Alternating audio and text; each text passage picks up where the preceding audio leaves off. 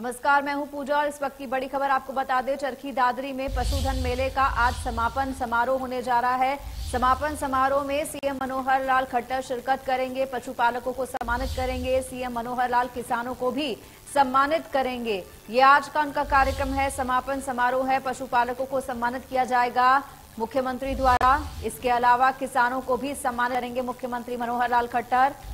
और समापन समारोह में सीएम मनोहर लाल खट्टर शिरकत करने वाले हैं।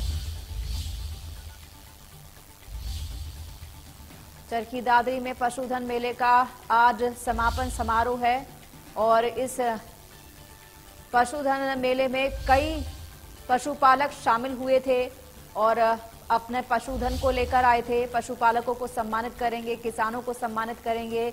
सीएम मनोहर लाल खट्टर समापन समारोह में खुद मुख्यमंत्री आज पहुँचने वाले हैं।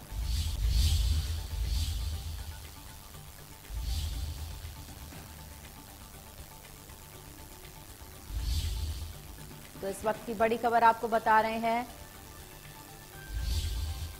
पशुपालकों को सम्मानित करेंगे आज मुख्यमंत्री मनोहर लाल खट्टर। किसानों को भी सम्मानित करेंगे।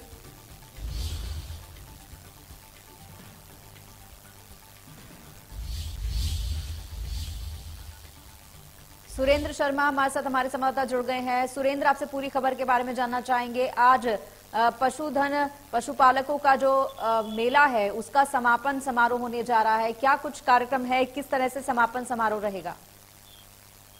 जी, देखिए, तीन दिन तीन दिवसीय ये पशुधन मेला था। प्रथम दिन यहाँ 11 मार्च से आज 13 मार्च को समापन समारोह है। समापन समारोह में मुख्यमंत्री मनोहर लाल जी पहुँचेंगे और किस, जो किसान अव्वल आए हैं उनको सम्मानित भी करेंगे। जो पशु प्रदर्शनी के दौरान अव्वल रहे उनको भी इनाम बांटा जाएगा। ड्रा के द्वारा किसानों को भी इनाम दिए जा रहे हैं जिसमें बोल्ट मोटरसाइकिल है स्कूटी है और ट्रैक्टर्स हैं। जी, जी। पशुपालकों में और किसानों में कितना उत्साह देखा जा रहा है? किस तरह से प्रतिक्रिया मिल रही है पशुधन मेले को लेकर के?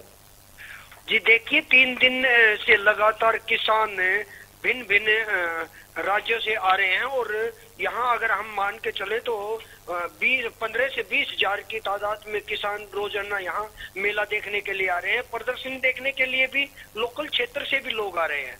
और उनमें इतना उत्साह है कि वो भीड़ देखते ही बनती है। जी। जी बहुत बहुत धन्यवाद सुरेंद्र इस तमाम जानकारी और बातचीत के लिए।